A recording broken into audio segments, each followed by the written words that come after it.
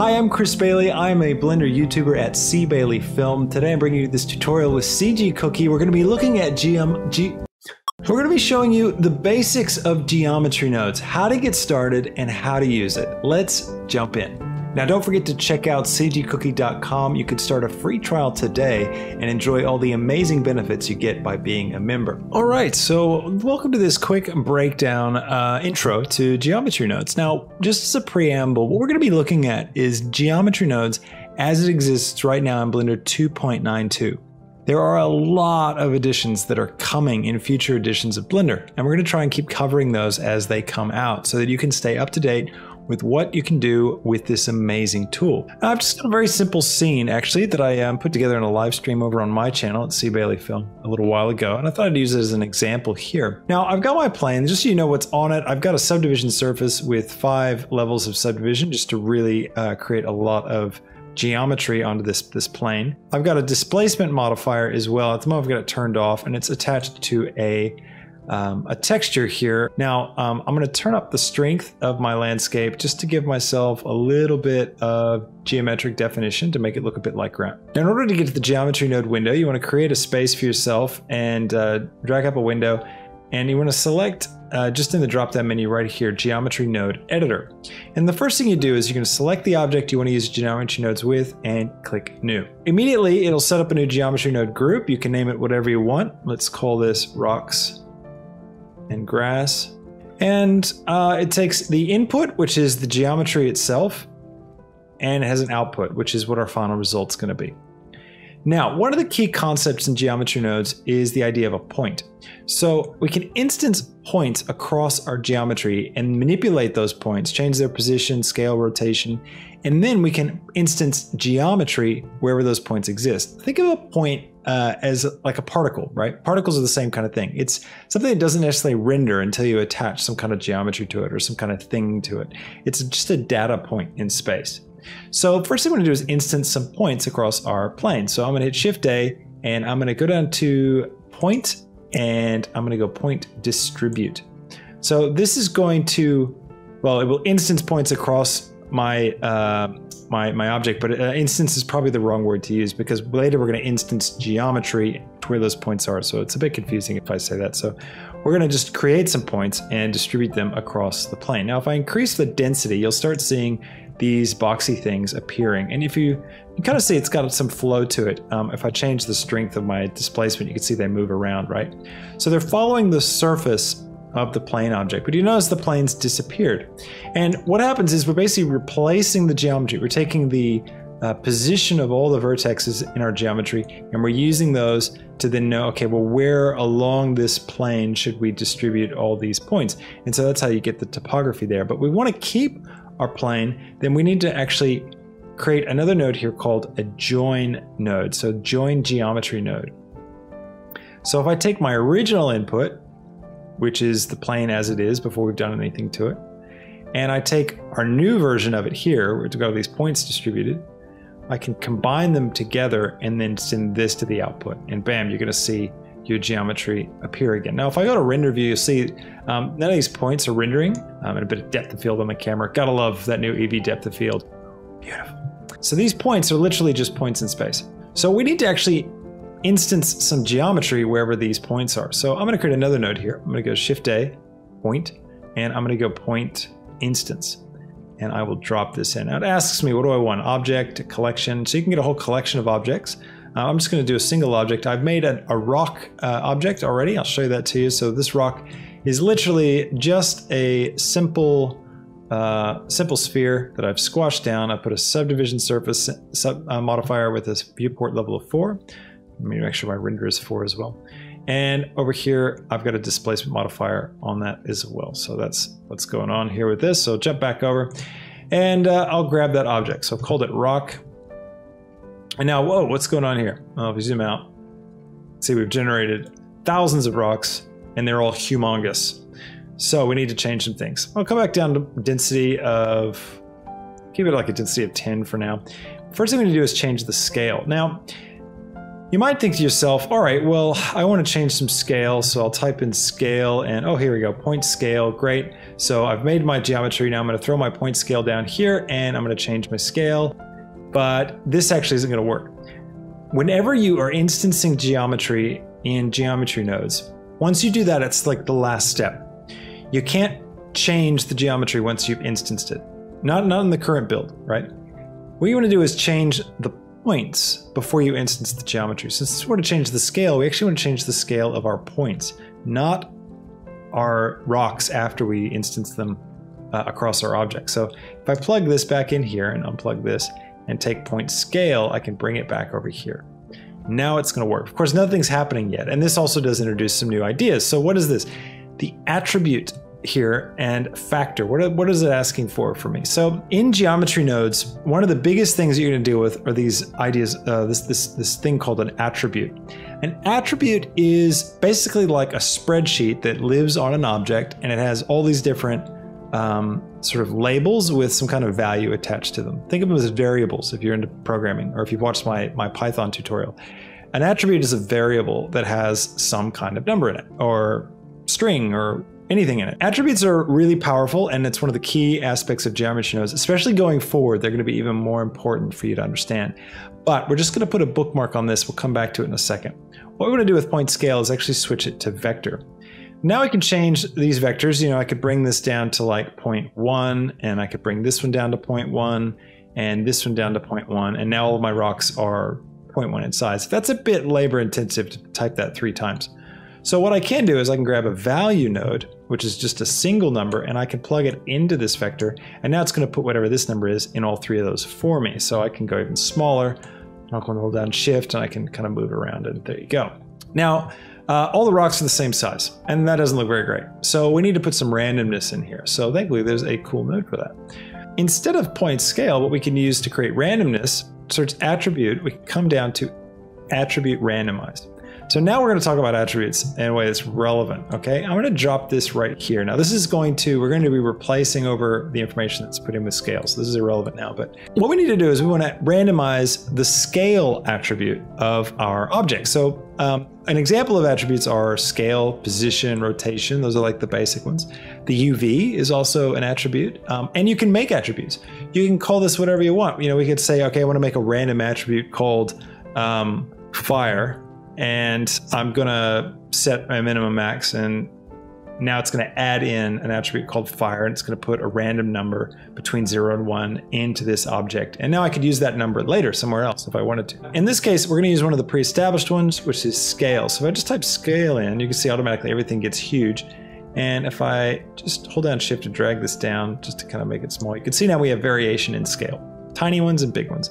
And so what it's doing is, is it's taking a single number, this this floating point number between 0 and 0.03 and it's generating a random number and for each of the points it's changing the value in scale.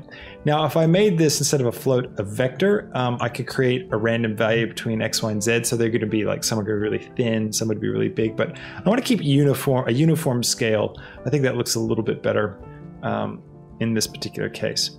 So I can adjust that. I can come back to density and I can change this. Now what's so cool about it is I can come over to my displacement and my original ground object and you know I can change the strength here and you can see that as this object changes all these things are going to just appear on the object and track with it. Now we can do the same thing with rotation. So it's another attribute. So I can shift D to duplicate, drag this over here and I can type rotation. And now these guys are going to rotate, but eh, it's a bit crazy. I don't want them rotating all over the place.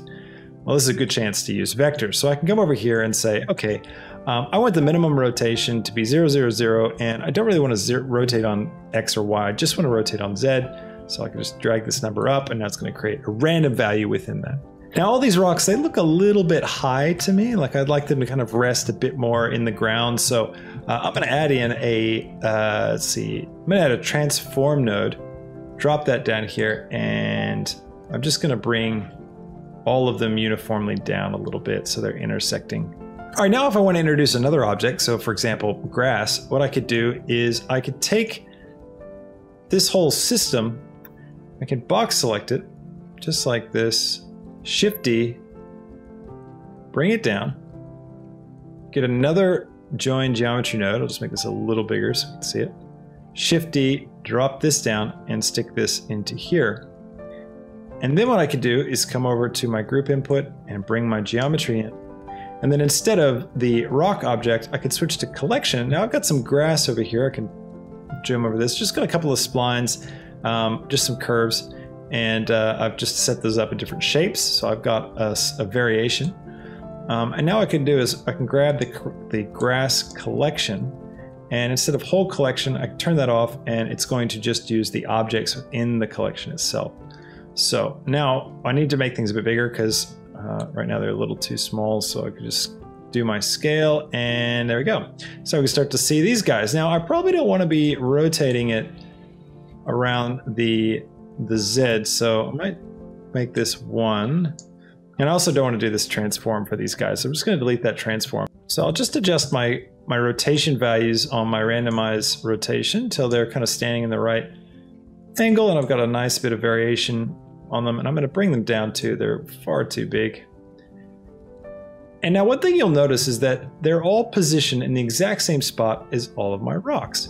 And that's because the seed value that I've generated here for the point distribute node, it's pretty much the same. So I could technically keep all this stuff here and uh, just pipe pipe over from this point right here and I'd get the same result, right?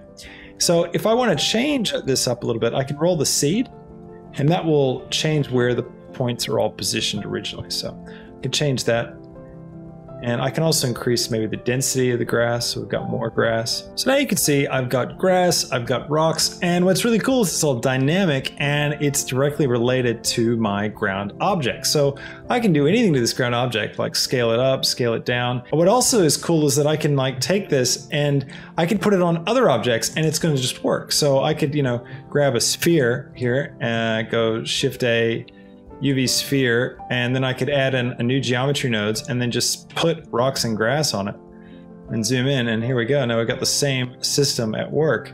So now you can continue to layer up all of these different things and create more and more objects you can have in your scene. Now, some of the things that are coming to geometry nodes that aren't really here yet. One of them is it's there's no real easy way to make sure that the grass isn't going to intersect the rocks. So you can't take the position of all these rocks and come up with a way of subtracting them out of the grass um, unless you go really, really, really deep under the hood and force it to work in your direction. Now, in order to understand how attributes work a little bit and kind of, I guess, give you a hint at where things are going with geometry nodes, let me just uh, show you one last little trick. Eventually, we're going to have a spreadsheet that will show us what attributes are on what objects. So it'll be a lot easier to kind of pinpoint exactly what's going on. Right now it's a little bit of guesswork, but that's all right.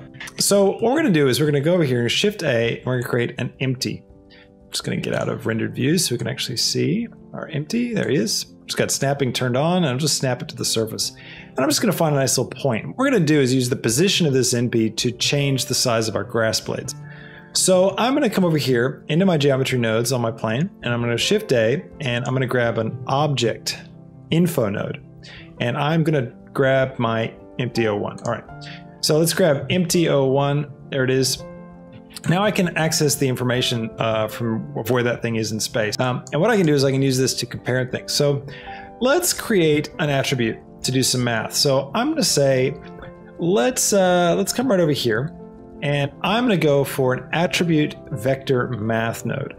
And I'm going to say, let's take the position of this thing, and let's figure out what's the distance between the, uh, let's see, the location of this empty and the location of each of these blades of grass. So how far is each blade of grass from this object? So I need to switch this first one to a vector and I'll take the location and plug it in. And for the second one, I'll type position and that will look at the position of each blade of grass and it'll calculate the distance between it and this empty. Now I want to store it in something and I'm going to store it in a value. I'll just call it scale 2. Okay, now we've just made this up. This is just a variable. Could have been called anything. So nothing's going to happen, right? But we've stored this scale 2 value. Now I can grab another attribute vector math. I can drop it here. And now what I can do is I could say, all right, let's take let's take the attribute scale 2 and I want to multiply it with uh, so we're going to take our variable scale 2, we're going to multiply it with the scale of each blade of grass, and we'll use it to overwrite the scale. And bam, you can see, wow, all of a sudden everything's gotten so big. Now we need to change the size of scale 2 so it's not creating this big of a difference. So I can grab another attribute vector math and just put it before these two. And I'm going to take scale 2 and I'm going to multiply it by a vector. And I will grab a value node here and I'll just plug that in. So we're going to multiply this guy and I'll just drag this down, make it smaller and smaller and smaller, maybe 0.001. Now there's one last thing I need to do to make this work right. So I'm going to switch this from original to relative. So by switching this to relative, I'm bringing in the relative location relative to the object that we've got the geometry nodes on. So if you've got it on original, it's not going to quite work right. So um, I'm going to bring my value back up. Here we go. Now it's working. So what you can see now is happening is wherever I have my empty in my scene, you can see it's affecting which where the grass is tall and where it's not tall, where it's growing and where it's not growing. Now, one other thing that you can do that's really interesting is that you can actually um, clamp the values uh, at the moment by using a color ramp node. So if I put a color ramp, uh, attribute color ramp node in between my um, the, where I'm calculating the distance from each blade of grass to my empty, I come over to here to this and I can actually say, all right, I want to take the value of scale 2 and I want to write this to the value of scale 2. So I'm basically overriding scale 2 and you can see it changed. What's happening is it's basically it's clamping it and it's never going below 0 1 now. Um, but what that means is I can now use this to then bring it up. So I never lose the grass entirely. Uh, but I could take this one now and I could bring it to like 1.2, for example, to go above white. And now these are all going to be a little bit taller. And I can adjust the fall off just like I would if I was a material. I can even add in more nodes and like say, let's make this one black, right? So we've got this little gap where we're gonna lose the grass completely if I wanted to like cut it off from my background or something. Well, thanks for watching this video. I hope you found it really fun and engaging. Hope you learned a few cool things about geometry nodes that you can start using in your own projects. Please like this video if you enjoyed it, and don't forget to hit the subscribe button and ring the bell if you want to get notifications for when we drop new videos. Stay tuned. I will catch you in the next one. Until then, have a fantastic week. See ya.